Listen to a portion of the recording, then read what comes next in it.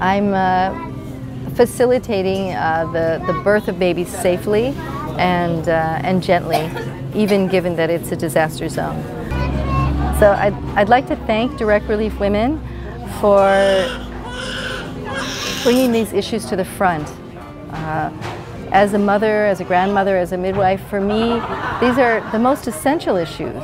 It's, it's what happens when you arrive on earth. It's what happens to your mother during pregnancy. Uh, you can imagine the gratitude when we give some direct relief food, Clif bars or Luna bars, that the women feel when they get a week's supply and they come week after week and they get their vitamins and they get treated with love and kindness and that's your love and kindness.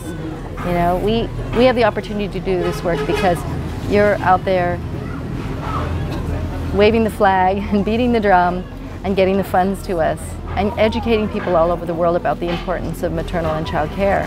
We try to handle it one baby, one mother at a time.